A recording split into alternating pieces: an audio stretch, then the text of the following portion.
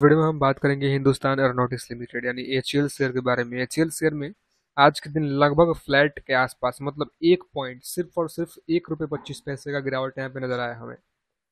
Zero point zero two eight percent की गिरावट। अब यहाँ पे अगर हम बात करेंगे तो गिरावट ये थोड़ा ऊपर था, अगर अब बात करें यहाँ पे शुरू, जब क्लोज मतलब सॉरी, यहाँ पे जब ओपन हुआ वहाँ से लेकर और बटम तक अगर हम बात करें तो कुछ यहाँ पे one point six seven percent का गिरावट था, बट बटम से टॉप तक रिकवरी भी हमें वन पॉइंट कुछ यहाँ पे सिक्स ज़ीरो परसेंट का देखने को मिला है।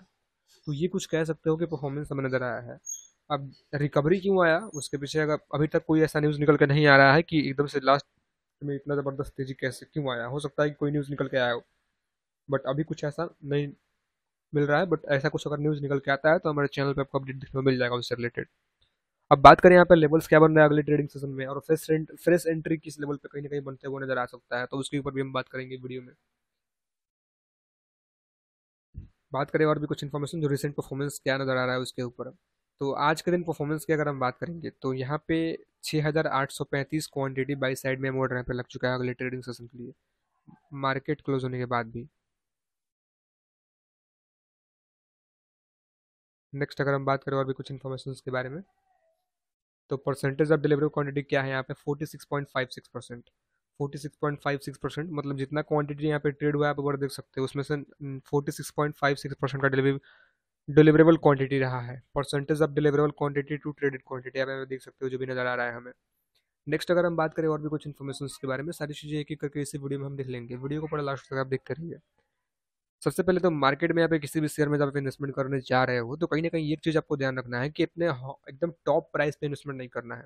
बिकॉज़ आपने काफ़ी बार देखा होगा कि काफ़ी लोग टॉप प्राइस पे एकदम हाईएस्ट ऑल टाइम हाई के आसपास इन्वेस्टमेंट कर देते हैं और वहाँ से जब करेक्शन होता है तो फिर उनसे रुका नहीं जाता है। लॉस में ही उनको बुक करना पड़ता है। काफ़ी बार ऐसा हुआ है और होता भी है अभी टाइम मार्केट में आपने किस प्राइस पे बाई किया है नीचे कमेंट में ज़रूर बताइएगा। मैं आपको पहले ही बताता हूँ कि शेयर जब स्टेबल हो जाए स्टेबल कंडीशन में नज़र आ जाए, उसके बाद आप बाई कीजिए, वो अलग की बात है।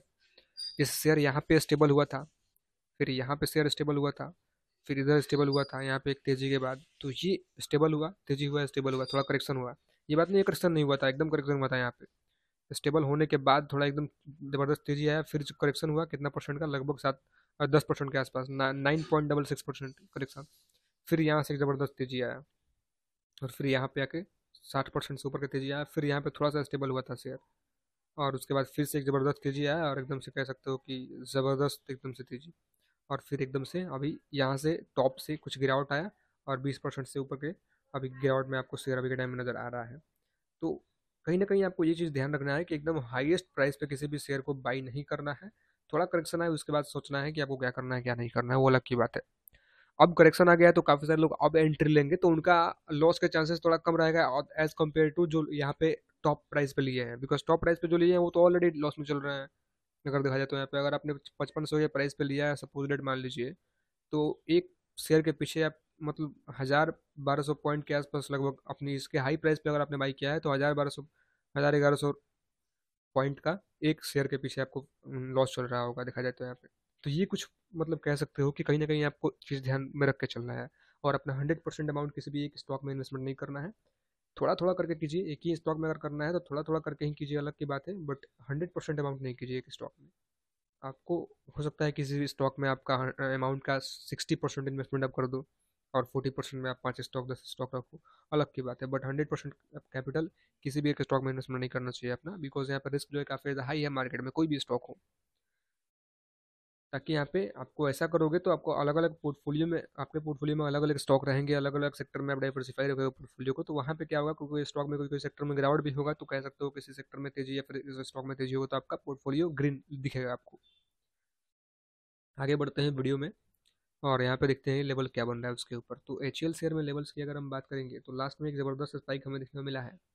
अगर गिरावट यहाँ पे होता है तो सबसे पहला जो लेवल रहेगा हमारा कुछ यहाँ पे four thousand three hundred and sixty three के आसपास एक लेवल है। इसको अगर ये ब्रेक करता है तो नेक्स्ट लेवल पे अगर हम बात करेंगे तो कुछ अगर हम बात करें यहाँ पे ये लेवल रहेगा four thousand three hundred and seventeen का लेवल और इसको भी अगर ये ब्रेक करता है तो और भी सारे लेवल्स हैं बट अगर इसको ब्रेक करता है तो हमारे चैनल पर आपको वीडियो देखने में मिल जाएगा।